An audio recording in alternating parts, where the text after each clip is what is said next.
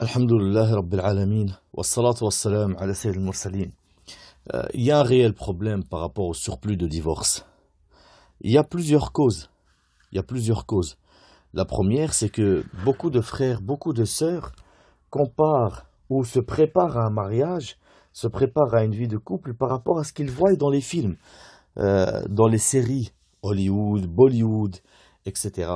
Et croient que le mariage, les couples, c'est un conte de fées. Et forcément, quand ils sont face à la réalité, ils sont déçus. Forcément, on compare notre vie à de la science-fiction. Ça n'existe pas. Ça n'existe pas. C'est comme si tu t'attendais à vivre dans un Marvel ou dans, dans une chose comme ça. Ça n'existe pas.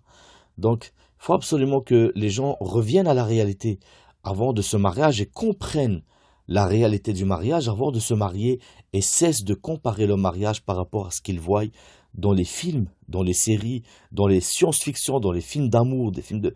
Tout ça n'existe pas. Le but du film, c'est d'exagérer, même dans le naturel, pour vous attirer, pour vous scotcher, pour que vous perdez votre temps à les regarder. Donc, ça n'existe pas, ce n'est pas ça la vraie vie. Donc, forcément, on, on vit dans l'imagination, quand on est face à la réalité, on est déçu, et quand on est déçu, on n'a pas envie de rester. Aussi bien pour les sœurs qui comparent leur vie à ça, aussi bien pour les frères qui comparent leurs femmes à des femmes qu'ils voient à la télé complètement retouchées, aussi bien par le maquillage que par la chirurgie, que même par l'informatique. Ils sont retouchés complètement, et forcément, quand ils comparent sa femme avec un, un réel corps, qui a des imperfections par rapport à une femme complètement trafiquée et retouchée pour qu'elle n'a aucune imperfection, il est déçu. Donc ça, c'est une chose à savoir. La deuxième chose, il faut absolument comprendre, les frères et les sœurs, que quand on se marie pour la sunna, pour Allah, c'est difficile de rester. C'est difficile parce que le shaitan va faire plus d'efforts à détruire votre couple, à vous, toi ma sœur qui fait partie des gens de la sunna, et toi mon frère qui fait partie des gens de la sunna, le shaitan va faire plus d'efforts à détruire votre couple à vous qu'à détruire un couple d'ignorants ou un couple de kuffars qui n'ont rien à voir avec l'islam ou un couple qui vivent dans le haram. Pourquoi? Parce que vous, votre couple, il est en train de construire quelque chose de bien et de grand. Votre couple est en train de se construire sur l'amour d'Allah, sur la religion. Vous allez faire des enfants, vous allez les élever à savoir qu'il n'y a pas d'autre Seigneur qui mérite l'adoration sauf Allah. Les élever à suivre la sunna, les élever sur le Coran, les élever sur le bon comportement, sur la nature saine. Et le shaitan ne veut pas cela. Par conséquent, il va faire plus d'efforts à détruire votre couple qu'à détruire le couple des autres. Je te donne un simple exemple. Il y a un juif, il est venu vers le prophète sallallahu alayhi wa sallam, il lui dit, enfin vers Abdullah ibn Abbas, il lui dit, nous, notre, dans notre prière, le shaitan ne vient pas nous déranger. Pourquoi, comment ça se fait, vous, le shaitan vient vous déranger? Abdullah ibn Abbas lui a dit, Qu'est-ce que tu veux que le shaitan il fasse dans une maison qui est déjà complètement détruite? Vous, le shaitan, il a vu que votre maison, elle est complètement détruite déjà. Votre adoration n'est pas valable, vous adorez autre que Allah. Le shaitan vous a laissé dans votre destruction. Mais nous, comme tout est, construit, alors le shaitan va venir pour essayer de tout détruire. Et c'est pour ça que vous allez trouver dans les couples de gens de la sunna un peu plus de difficultés, euh, plus, des fois même plus de disputes, etc. Parce que le shaitan fait tout pour les détruire. Mais vous devez tout faire en sorte de vous éloigner du shaitan. Premièrement, en comptant sur Allah, tawakkul ala Allah. Deuxièmement, il y a plein de choses à faire. Le fait de s'accrocher au Coran, le fait de s'accrocher à la Sunna, le fait de faire les afkar du matin et du soir. Ça aussi, c'est très important. Les afkar quand vous rentrez chez vous. Euh, le fait de ne pas euh, louper les, obligations. Le fait d'étudier les droits de l'autre. Le mari étudie les droits de sa femme pour qu'il puisse lui donner. La femme étudie les droits du mari pour qu'elle puisse lui donner. Euh, et les droits du couple, les droits des enfants le fait de ne pas propager tout ce que vous avez comme bonheur, comme certains ils font. Ils vont en vacances, ils mettent leurs photos sur Instagram, sur TikTok. Ils ont même leur nourriture, ce qu'ils ont mangé, des photos sur Instagram, sur TikTok. Sachez que le prophète sallallahu alayhi wa sallam, il dit Inna li kulli ni'matin mahsoud, fasta'inu bima Allahu alaykum bil kitman. Chaque ni'ma, chaque bienfait que Allah vous a donné, il y a quelqu'un qui va vous jalouser. Aidez-vous si vous voulez préserver ce que Allah vous a donné comme bienfait par le secret. Ne le propagez pas. étonnant et incroyable qu'on voit certains, ils propagent même la photo de leurs enfants sur Internet. N'avez-vous pas peur que quelqu'un lui fasse un mauvais œil ou même lui fasse de la sorcellerie? Préservez-vous, préservez votre bonheur. Vous n'êtes pas obligé de le faire connaître. Vous êtes heureux, remerciez Allah. Louez Allah, gardez votre bonheur pour vous et préservez vos enfants. Plein d'autres choses à faire qui, vont pouvoir euh, faire en sorte que Allah vous préserve dans votre couple. Comme par exemple aussi le fait que la femme porte son khimar, ce voile, qu'elle ne sorte pas mutabarrija, qu'elle sorte pas avec un, un voile qui ne respecte pas les conditions que Allah a ordonnées, que son prophète a ordonnées. Euh, elle sort avec des voiles complètement flashy, colorés, un voile pour attirer l'œil. Alors que le voile, à la base, il est là pour justement ne pas être vu. Pourquoi Quand tu sors de chez toi, ma sœur mutabarrija, yastashrifuki shaitan.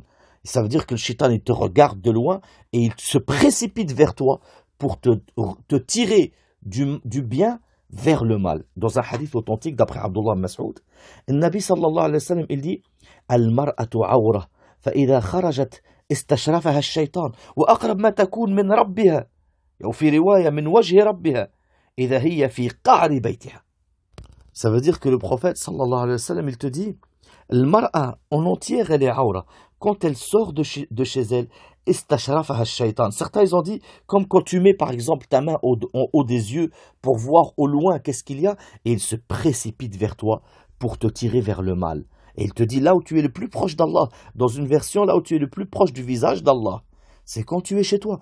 Par conséquent, ma sœur, à chaque fois que tu vas sortir de chez toi, tu vas t'éloigner de, de Allah, même pour aller à la mosquée.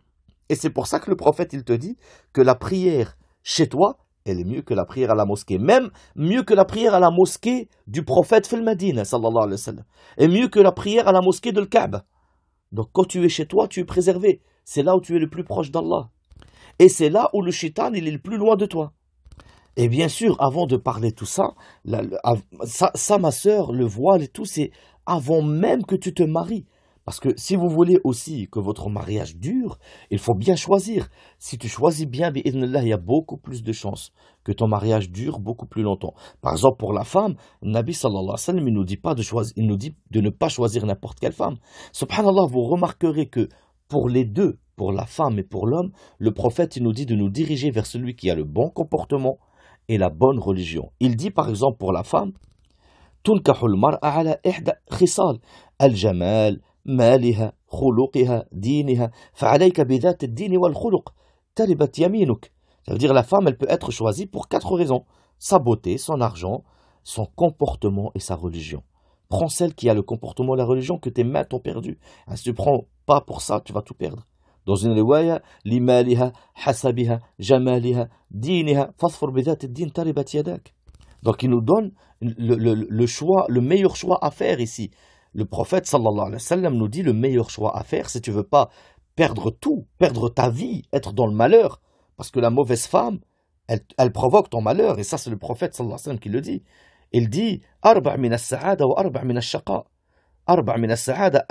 quatre choses font ton bonheur, quatre choses font ton malheur. Il dit.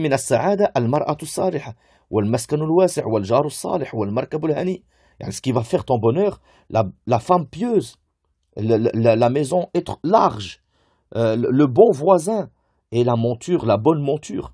Et ce, qui, va faire ton malheur, al sou, le mauvais voisin, al mar'atusu, la, la, la mauvaise femme. Et dans une riwaya, il a dit euh, al mar'atu taraha fatasu'uk wa tahmilu lisanaha alayk wa in ghibta lam ta'manha ala nafsik wa malik. C'est la femme que quand tu la vois, elle te plaît pas. Ni elle te plaît pas, yani, elle se fait pas belle pour toi, ni quoi que ce soit. D'accord? Il a dit Elle parle mal avec toi. Elle parle mal avec toi. Et si tu es absent, t'es même pas, euh, pas rassuré. Tu te dis peut-être elle va me tromper, peut-être elle va dilapider mon argent, ou tu laisses même tes enfants auprès de elle. Elle attend que t'es pas là, elle va leur faire du mal, elle va mal parler avec tes parents. Et tu lui fais pas confiance. Bah parce qu'elle ne mérite pas ta confiance. C'est une femme qui trahit à la moindre occasion et qui n'obéit à son mari que quand ça l'arrange. Elle obéit à Allah que quand ça l'arrange. Alors que la femme bien, attention, la femme bien, c'est la meilleure chose qui peut t'arriver dans ta vie. Au point que, premièrement, Allah, le prophète, il l'a appelé rizq. Celui que Allah lui donne comme rizq, une femme bien, il l'a aidé pour la moitié de sa religion. Mais si tu veux ton rizq, toi-même tu dois craindre Allah, d'accord? Parce que ce rizq, Allah t'a promis de te le donner si tu fais partie des muttaqin. Celui qui craint Allah, Allah lui donnera la solution à tout, il va lui donner son rizq de par là où il ne s'attend pas. On voit certains frères, ils cherchent pendant des années, ils ne trouvent pas. Taqillah. Le risque qui va venir de, pendant que tu dors. Simplement. Si tu ne trouves pas, pose-toi la question. À savoir que Allah t'a dit dans le Coran Tout ce qui vous touche de mal, c'est à cause de ce qu'a amassé vos mains. Et Allah, il est la vérité. Et de lui ne sort que la vérité. Et Allah, il promet le risque à celui qui craint Allah. Si tu ne trouves pas ce risque pour l'instant, pose-toi la question. Est-ce que tu, si ça ne vient pas de toi, Peut-être que tu es en train de faire le haram, peut-être que tu fais des masses. Peut-être Allah t'éprouve. En tout cas, sache que la femme bien, c'est une des meilleures choses qui peut arriver dans ta vie. Nabi le dit. Dunya c'est une jouissance. Et la meilleure de ces jouissances, c'est la femme pieuse. Parce que cette femme, elle va pas courir derrière Dunya, comme on voit certains. Wallah, et des frères m'ont appelé, des, des, des, femmes leur demandent des dots phénoménales. Et c'est quoi leur excuse? Je teste ton amour. Subhanallah, pourquoi ne pas avoir testé sa religieux, sa religiosité, sa piété, son Coran, sa sunna, son pressement à délaisser le haram? Elle le teste par l'argent, ne tombez pas dans le piège. La femme pieuse ne court pas derrière dunya et ne te teste pas par rapport à ta elle te teste par rapport à ta religion. C'est ça la femme pieuse, c'est celle qui veut t'aider dans ta religion, qui veut t'élever dans ta religion. Elle patiente sur dunya et elle t'appelle à Allah. D'ailleurs, quand le verset le, où le prophète sallallahu alayhi wa sallam, il, il dit, euh, euh Allah azza wa jal dit, jusqu'à la fin du verset. Et ceux qui gardent l'or et l'argent comme trésor, ils ne la sortent pas, fi sabilillah, ils ne donnent pas la zakat dessus. Il y a un homme, il lui a dit, Rasulallah, dullana ala khayr al-amwal hatta naktanizha, ou hatta nattakhidha. Ya Rasulallah, montre-nous c'est quoi le meilleur bien, le meilleur trésor pour qu'on le prenne? قال أفضله لسان ذاكر وقلب شاكر وزوجة مؤمنة تعينه على إيمانه Le meilleur des biens, c'est une langue qui évoque Allah, un cœur qui remercie Allah et une femme croyante qui va l'aider dans sa foi. Pas une, une, femme qui va dilapider ses biens, mal lui parler, euh, ne lui obéir que quand ça l'arrange. Wallah, on a eu même des sœurs qui te disent j'ai pas envie de parler, il me parle pas. Subhanallah, la femme, elle n'est pas censée être le maître de son mari. Même bien au contraire, elle est là pour servir son mari. Elle est là pour lui donner son droit. Et le droit du mari, il est monumental par rapport à la femme. Au point que le prophète sallallahu alayhi wa sallam, il dit dans un hadith, La yasluh li bashar an yasjud li bashar, wa law saluha li an yasjud li bashar, la amartu al-mar'ata an tasjud li zawjiha, li'idham haqqihi alayha, law kana min qadamihi ila mirfaq ra'sihi, qurhatun تنبجس بالقيح والصديد ثم استقبلته فلحسته ما أدت حقه يعني le prophète sallallahu alayhi wa sallam il dit il ne convient à personne de se prosterner devant personne et si il était autorisé à quelqu'un de se prosterner devant quelqu'un, j'aurais ordonné à la femme de se prosterner devant son mari, tellement le droit de son mari est grand. Il a dit au point, si son mari était blessé de sa tête à ses pieds et que de ses blessures sortaient du pu et du sang, et qu'elle essuie ses blessures avec sa langue, elle lui a pas encore donné son droit. Et c'est ça les meilleures femmes. C'est ça les femmes du paradis. Le Nabi sallallahu alayhi wa sallam a dit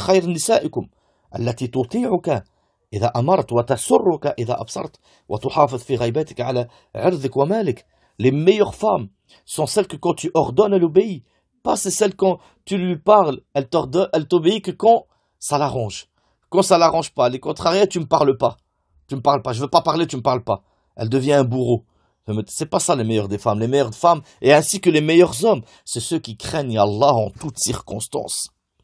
Pas ceux qui craignent Allah que quand ça les arrange. C'est ça les gens du paradis. Ceux qui craignent Allah en toutes circonstances. C'est ça ta vraie religion. C'est quand dans la difficulté, est-ce que ça y est, la foi, elle part complètement de ton cœur? C'est même pas de la difficulté, le moindre petit, petite contrariété. C'est même pas colère. Et ça y est, il n'y a plus de religion. On voit certaines personnes qui n'adorent Allah que quand ça les arrange. Et wallahi, pour la moindre petite difficulté, surtout quand il y a un divorce, qu'est-ce qu'ils sont plus proches des kuffars, même des ennemis de l'islam, ils te combattent par ta religion. Et ils se plaignent envers les kofars contre ta religion. Ils veulent te rabaisser par ta religion. Qu'est-ce qu'ils sont plus proches des hypocrites que du musulman? Et ce sont bien sûr le contraire des gens du paradis.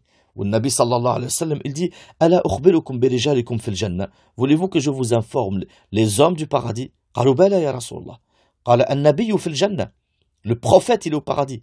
Le véridique est au paradis, pas le menteur. Le véridique dans sa parole et dans ses actes. Et le véridique, c'est celui qui est véridique dans toutes circonstances. Il a dit As-Siddiq fil Jannah, wa yazuru akhahu fi. لا يزوره إلا لله في الجنة quelqu'un il va visiter son frère alors que son frère il habite loin mais il y va que par, par euh, euh, amour envers son frère pour Allah. Eh bien celui-là, il est fil jannah. Ensuite il dit Ala min al jannah. Voulez-vous que je vous informe les femmes du paradis قالوا بلى يا رسول الله قال كل ودود ولود إذا غضبت أو أسيء إليها وفي رواية الودود الولود العؤود على زوجها التي إذا غضبت أو أسيء إليها أو غضب زوجها قالت هذه يدي في يدك c'est la femme douce, fertile, qui se remet en question avec son mari, qui ne cherche pas à avoir le dernier mot. Celle que si elle est en colère, ou que son mari lui a fait un mal, ou que lui, il est en colère, elle ne cherche pas à avoir le dernier mot. Elle ne va pas lui dire, c'est toi qui en tort, tu dois revenir, c'est toi qui dois. Non. elle cherche à satisfaire Allah. Il a transgressé Allah envers toi, et eh bien toi tu obéis Allah envers lui. Et c'est ce que Allah t'ordonne.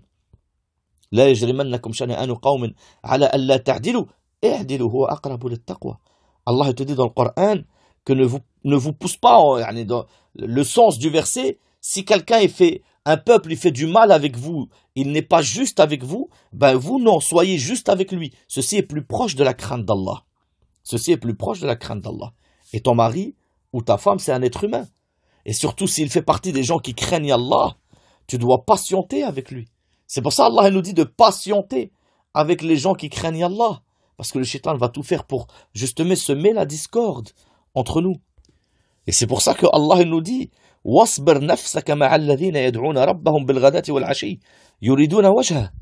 Patiente, avec ceux qui ils invoquent leur Seigneur jour et nuit, ils veulent le visage d'Allah. Certes, ce verset-là, il est descendu sur des, des, euh, le, des gens de Quraysh qui étaient riches et des nobles. Ils ont dit à Muhammad, en parlant au prophète sallam, euh, nous on s'assoit avec toi, mais ne fais pas asseoir les pauvres avec nous. On n'a pas besoin d'eux. Et le, verset est descendu. Mais nous on a une qaida qui dit, ليست العبرة بخصوص الآية ولكن العبرة بعموم المعنى. Yani nous, le verset, on ne doit pas l'appliquer pour ce que exactement il est descendu, mais on l'applique dans son sens général. Et dans le sens général, Allah il te dit, bah, patiente avec ceux qui, qui adorent Allah, patiente avec eux. Patiente avec celui qui craint Allah, qui essaie de se rapprocher avec Allah. C'est un être humain. Donc forcément, il a des défauts. Il faut patienter. Mais si lui, il est en colère ou il a fait du mal, la solution, c'est pas de à élargir ce mal, l'agrandir, s'orgueillir. Soit il revient, soit c'est pas la peine. Des fois, enfin, très souvent, même si ce n'est pas la plupart du temps, ton orgueil te mène à ta perte. Il faut réfléchir, patienter et aller vers ce qui satisfait Allah. Donc, tout ça pour dire euh, que la femme doit craindre Allah envers son mari et doit savoir que le fait de transgresser son mari, c'est un grand péché. Qu'elle ne donne pas le droit d'Allah si elle ne donne pas le droit de son mari Au point que le prophète sallallahu alayhi wa sallam dit Walladhi nafsi bayna yaday, la tuaddi al-mar'a haqqa rabbiha hatta tuaddi haqqa zawjiha. ولو سألها نفسها وهي على قطب لم تمنعه Le prophète sallallahu alayhi wa sallam il dit Walladhi nafsu Muhammadin biyadih Celui qui tient l'âme de Muhammad entre ses mains. La femme ne donnera pas le droit de son Seigneur tant qu'elle ne donne pas le droit de son mari. Même si elle est sur sa monture, il la désire, elle répond. Dans une autre version du hadith, il dit sallallahu alayhi wa sallam la haqqa rabbiha, hatta haqqa zawjiha. Ça veut dire je, tiens, je jure par celui qui tient mon âme entre ses mains. La femme ne, donne pas le, ne donnera pas le droit de son, mari, de, de son Seigneur tant qu'elle n'a pas donné le droit de son mari. Dans une riwaya, la La femme ne goûtera pas le véritable goût de la foi jusqu'à ce qu'elle donne le droit en entier à son mari. Ça veut dire que plus tu vas obéir et satisfaire ton mari et patienter avec lui, plus ta foi, elle va monter. C'est ça le fait de goûter le véritable goût de la foi. Et dans une version de Tabarani, le prophète sallallahu alayhi wa sallam, il dit Al-mar ala.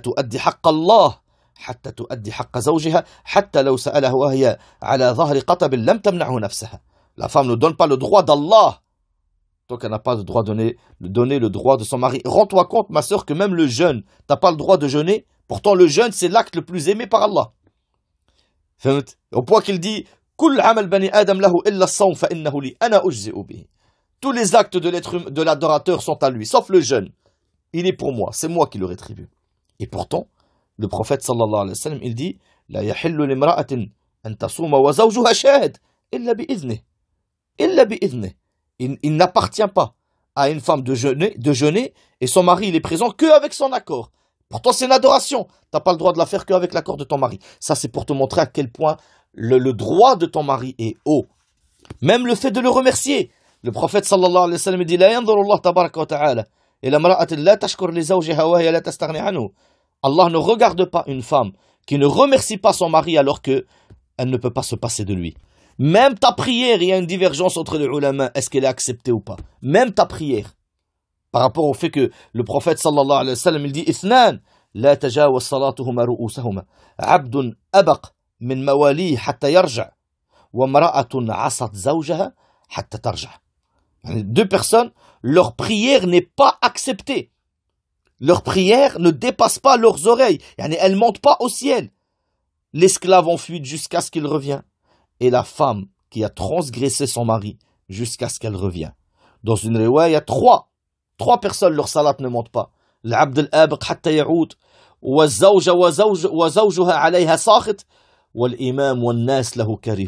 L'esclave en fuite jusqu'à ce qu'il revienne. Subhanallah, ça rentre dedans la femme. Ça rentre dedans la femme. Parce que la femme, elle est là pour servir son mari en réalité. Et la femme que son mari est en, colère contre elle est l'imam que tout le monde déteste. Par conséquent, il faut que la femme elle craint Allah. Et toi, mon frère, sois malin et perspicace. Ne prends pas une femme qui n'a rien de tout ça et ensuite te plaindre et dire oh, je comprends pas. Prends une femme par rapport à sa religion et par rapport à son comportement. Et tout ce qu'on a cité de la femme là maintenant, celle qui a la religion, le comportement, elle le sait. Et elle va chercher à l'appliquer, pas pour te satisfaire en premier, mais pour satisfaire Allah en premier. Ça veut dire que même toi, elle ne cherche à te satisfaire que pour satisfaire Allah. Ça veut dire que pour elle, la bienfaisance envers son mari, l'obéissance envers son mari, le fait de servir son mari, c'est une adoration. Elle sait que sa foi, elle monte par rapport à ça. Elle sait que le fait qu'elle obéit à son mari, ça lui ouvre toutes les portes du paradis par rapport au hadith où prophète il dit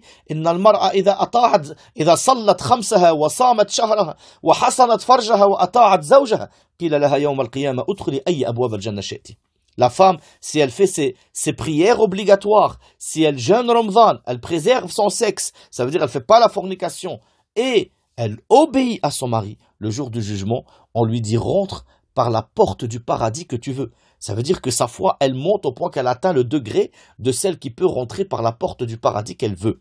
Donc, la femme pieuse, la femme qui craint Allah, elle veut ça. Par conséquent, mais si tu vas vers une, elle va te dire, oui, mais moi j'ai un caractère fort. C'est pas un caractère fort, c'est pas vrai. Le caractère fort, c'est celui qui tient sa colère en cas de colère. C'est ça le caractère fort. Ou le Nabi sallallahu alayhi wa sallam, il nous le dit. Il dit, le fort, c'est pas celui qui, dès qu'il est en colère, il bat les autres. Il, le fort, c'est celui que, bah, quand il est énervé, il, maintient sa colère, il ne l'applique pas. Il va pas t'insulter, etc. Te dire, oh, t'as de la chance, je veux pas laisser libre cours à ma colère, sinon je t'aurais frappé. Non, tu as laissé libre cours à ta colère par ta langue. Par ta langue. La femme avec un fort caractère, c'est que même si elle est énervée, elle reste humble devant son mari par obéissance envers Allah et elle ne se libère pas à sa colère que le shaitan a mis dans son cœur pour justement détruire son couple et l'éloigner d'Allah. Par conséquent, celle qui insulte, qui laisse libre cours à sa colère, c'est pas un caractère fort, au contraire, ça c'est un caractère faible, un mauvais caractère. Ne soyez pas les cobayes de ces gens-là. Ne les pousse pas, tout simplement. Et choisis une qui a un vrai caractère fort, celle que quand elle est en colère, elle rabaisse sa colère, celle qui cherche à satisfaire Allah, celle qui connaît le droit de son mari, celle qui veut élever et honorer son mari, pas celle qui est énervée, elle l'insulte de tous les noms et elle le rabaisse plus bactère et elle lui dit ne parle pas avec moi, j'ai pas envie de te parler. Comme si c'était un vaurien. Non, n'épousez pas ces femmes-là si vous voulez vivre heureux. Et pareil pour vous les sœurs, j'insiste sur le fait que les sœurs cessent de se mentir à elles-mêmes. Wallahi les sœurs, il faut absolument que si tu veux ne pas divorcer, cesse de te mentir à toi-même. Je vois beaucoup des sœurs qui m'envoient, j'ai trouvé un frère pieux. Comment tu sais qu'il est pieux? Ça fait trois mois qu'il parle avec toi en cachette. Et tu me dis, j'ai trouvé un frère pieux. Qu'est-ce qui le rend si pieux? Qui l'a rendu pieux? Toi, parce qu'il te plaît, avec ton ignorance et le suivi de ta passion. Où est la piété ici? Donc, elle finit par se mentir à elle-même au point qu'elle croit son mensonge. Ma sœur, s'il était pieux, jamais de la vie déjà il s'isole avec toi. Jamais de la vie un, homme pieux s'isolera avec une femme, car ceci est haram. le Nabi sallallahu alayhi wa sallam, il dit L'homme ne s'isole pas avec la femme sans que le troisième soit le shaitan. Prends un homme reconnu par les gens de bien, comme quoi c'est quelqu'un de bien dans son comportement, et c'est quelqu'un de bien dans sa religion. Et le prophète, il te dit que si tu ne l'épouses pas, ça sera une fitna et une abîme pour toi et pour tout le reste de la planète d'ailleurs. Si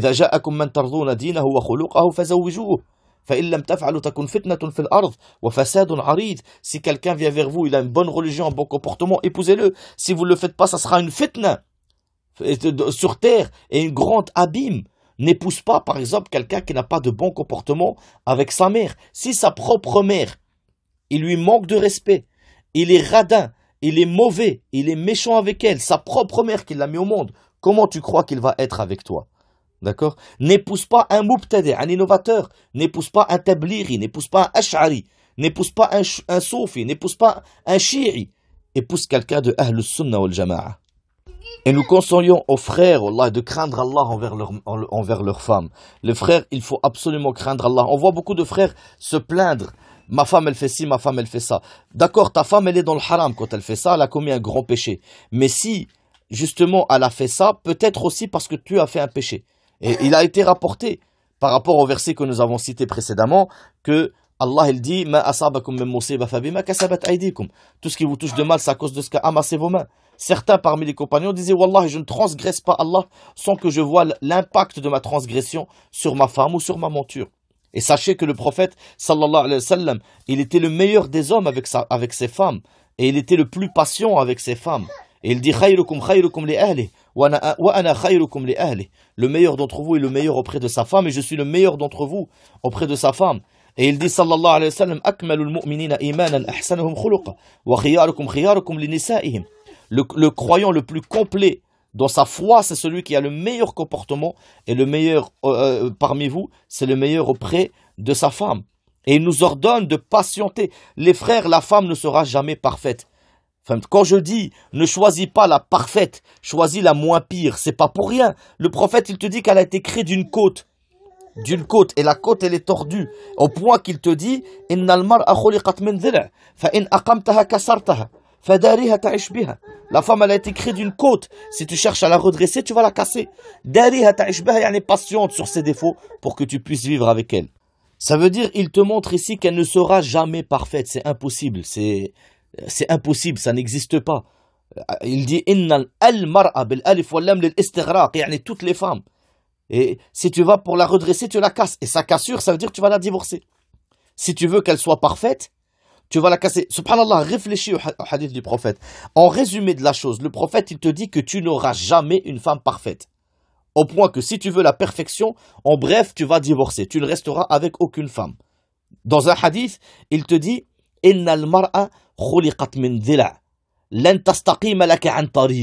La femme, elle a été créée d'une côte tordue. Jamais elle sera droite. Jamais. Si tu veux la garder, profiter de, elle, bah, tu vas profiter de elle, il y a quelque chose de tordu en elle. Mais si tu vas pour la redresser complètement, tu vas la casser. Et sa cassure, c'est son divorce. Et il te montre ici, en réalité, que la femme, c'est limite, ça lui fait du mal d'être droite. Elle peut pas. Elle peut pas, c'est impossible. Mais il faut qu'elle limite les dégâts. Elle doit craindre Allah Azza Que les femmes ne disent pas, ah, regardez, le prophète, il a dit ça, ça excuse mes défauts. Pas du tout. Pas du tout. En rien, ça excuse. Wallah, si je vous en parle, c'est que j'ai eu justement quelqu'un qui m'a dit, regarde, le prophète, il a dit, la femme, elle est d'une côte tordue. Par conséquent, vous devez accepter notre mauvaise parole, notre mauvais comportement. Non. Non. Le prophète, il nous parle de comment elle est à la, femme, mais il invite la femme à craindre Allah envers son mari. Et il te dit que ton mari, c'est ton, ton paradis ou ton enfer. Et tout simplement, ce que je dis moi à mes frères, c'est traitez vos femmes comme vous aimeriez qu'on traite vos sœurs, qui seront mariées, bi'idnallah. Est-ce que vous aimeriez qu'on les traite comme vous, vous traitez vos femmes? Traitez vos femmes comme vous traitez vos sœurs et sachez que le prophète sallallahu alayhi wa sallam a dit La yu'minu ahadukum hatta yuhib li akhihi ma yuhib li nafsihi.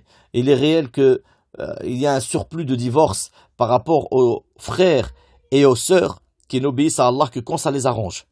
Qu'à la première petite altercation, l'orgueil devient plus important dans leur cœur que leur religion au point qu'on a entendu des gens, wallahi, dire s'ils ne demandent pas pardon, il n'y a plus de religion, il n'y a, plus a plus rien. Subhanallah, comment il n'y a plus de religion? En bref, il est en train de te dire clairement qu'il n'adore Allah que quand ça l'arrange. Alors que Allah nous dit dans le Coran, Rentrez dans l'islam en entier et ne suivez pas les pas du shaitan. Ce sont les juifs qui prennent ce qui les arrange du livre et qui jettent ce qui les arrange. Et Allah, il dit sur eux, Wallah, c'est étonnant. Qu'est-ce qu'on voit certains qui se disent musulmans, dès qu'ils sont dans le problème, qu'est-ce qu'ils sont plus proches du kufr et de la mécréance que de l'islam. Subhanak Allahumma wa bihamdik, ashhadu an la ilaha illa ant, أستغفرك وأتوب إليك.